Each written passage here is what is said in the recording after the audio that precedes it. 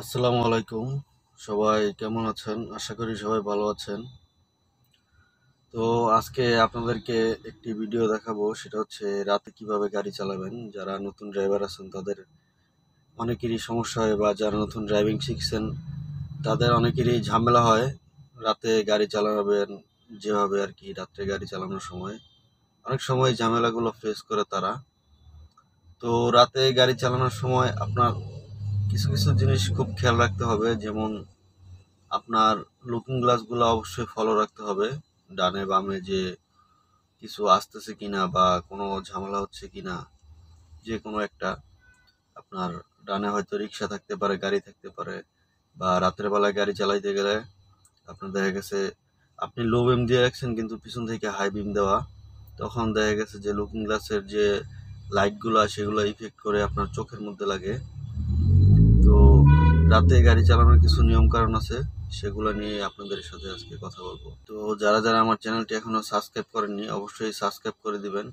আর যারা পুরাতন তাদেরকে অসংখ্য ধন্যবাদ যারা অবশ্যই আমার চ্যানেলটি সাবস্ক্রাইব করেছিলেন। তো আসুন ভিডিওটি শুরু করা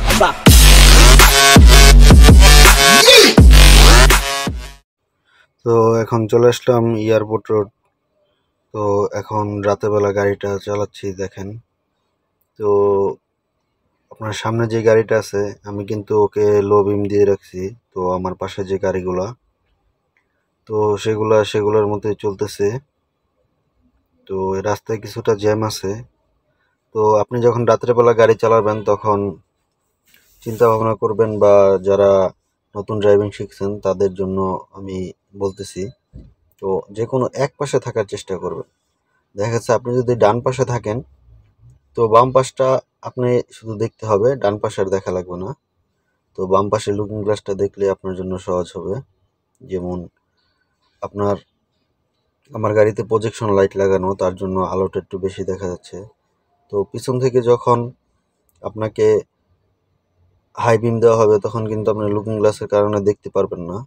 তো কি যেরকম একটা ঝামেলা হবে, দেখা গেছে আপনার চোখে, মুখে আপনি ঘোলা ঘোলা দেখতেছেন। তো এখন কিন্তু আমি ডান পাশে চেপে আছি।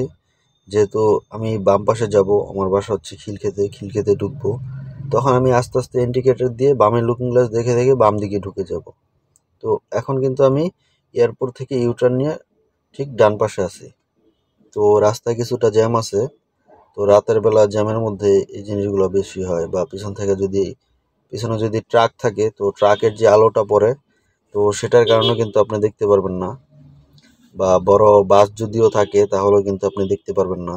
তাহলে দেখা গেছে আপনার লুকিং গ্লাসের মধ্যে লাইট পড়লে আপনার চোখে কোনো কিছু দেখা যায় না। তো আপনি চেষ্টা করবেন যে যে কোনো এক পাশে থাকার জন্য। তাহলে আপনার সুবিধা হবে বা আপনি এক পাশে থাকলে এক লেন ধরে আর বারবার লেন চেঞ্জ করার চেষ্টা করবেন না। তাহলে একটা দুর্ঘটনা হবে। বারবার লেন চেঞ্জ করার চেষ্টা করার কোনো প্রয়োজন নাই। আপনি যে কোনো এক লেনে থেকে গাড়ি চালাবেন। তাহলে আপনার জন্য সুবিধা হবে। তো আপনি একটু ফাঁকা পাইছেন, একবার বামে নিলেন, একবার ডানে নিলেন। তো এই জিনিসগুলো যদি করতে চান, তাহলে আপনি গাড়িটা একটা গাড়ির সাথে আরেকটা গাড়ি লেগে যাবে বা ঘষা খাবে যে কোনো একটা দুর্ঘটনার সম্মুখীন হবেন।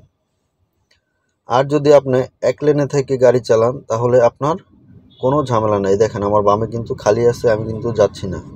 আমি এক লেনে আছি, যেহেতু আমার পিছনে একটা গাড়ি আছে, তো উনার লেন ফাঁকা হয়েছে উনি সামনের দিকে আসবে। আমার প্রয়োজন নাই। আমার যদি অনেক তাড়াহুড়া থাকে, তাও প্রয়োজন নাই। কারণ আপনি ডানে বামে নিতে গেলেই তখন একটা গাড়ির সাথে আরেকটা গাড়ি লেগে যাবে। তো আপনি সবসময় চেষ্টা করবেন যেন এক লেনে থেকে গাড়ি চালানো যায়। এক লেনে থেকে গাড়ি চালালে তাহলে আপনার কোনো ঝামেলাই হবে না আর রাতের বেলায় সুন্দরভাবে ঠিক গাড়ি চালাইতে পারবেন। আর গাড়ি চালানোর সময় অবশ্যই ইন্ডিকেটার ইউজ করবেন।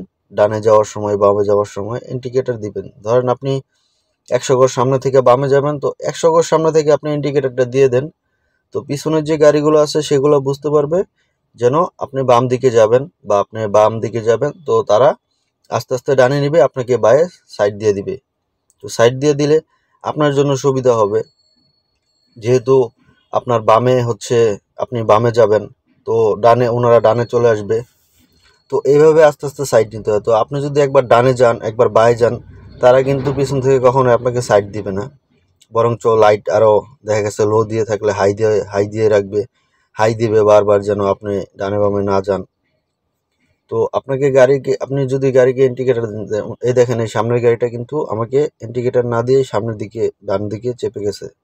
তো আমি যে এখন হাই দিতেছি, তো আমি আস্তে আস্তে বাম দিকে যাব। আমি খিলক্ষেত ফ্লাইওভারের কাছে চলে এসেছি। তো আমি কিন্তু আগে থেকে ইন্ডিকেটার দিয়ে রেখেছি। দেখেন সামনের মোটর সাইকেলটা উনিও বাম দিকে যাবে। এই দেখেন, আমার বামের ইন্ডিকেটারটা দেওয়া, বামের লুকিং গ্লাসে জ্বলতেছে। তো আমি কিন্তু ডান পাশে ছিলাম, আস্তে আস্তে আস্তে আস্তে বাম দিকে চলে আসছি। তো আস্তে আস্তে আস্তে আস্তে আমি বাম দিকে চলে যাব। তো আমার কিন্তু সাইড দিয়ে দিয়েছে পিছনের যে গাড়িগুলো। তো আপনারা এইভাবে আস্তে আস্তে বাম দিকে নেবেন, নিয়ে তারপরে আপনার গন্তব্যস্থলে পৌঁছে যাবেন। আর আপনি হঠাৎ মাঝখান থেকে কিন্তু বাম দিকে আসতে পারবেন না। আর বামে ঢুকতেছে এখন, সামনেই কিন্তু রেলগেট তো রেলগেটের আগে আগে দেখবেন ডানে বামে কিছু আছে কিনা।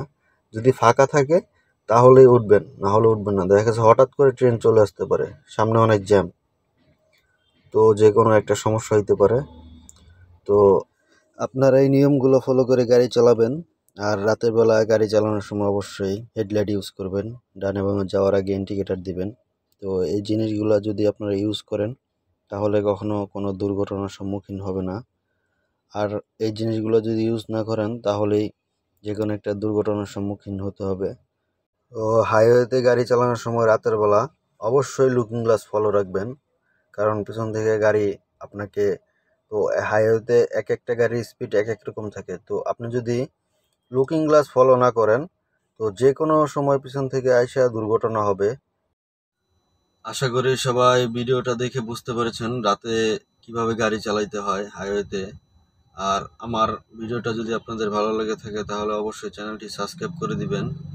দিয়ে পাশে থাকা বেল আইকনটি অন করে দিবেন তাহলে আমার নতুন নতুন ভিডিও আপনাদের কাছে সাথে সাথে পৌঁছে যাবে। আর ফেসবুক থেকে দেখলে পেজটি লাইক দিয়ে দিবেন, দিয়ে ফলো করে দিবেন। সবাই ভালো থাকবেন।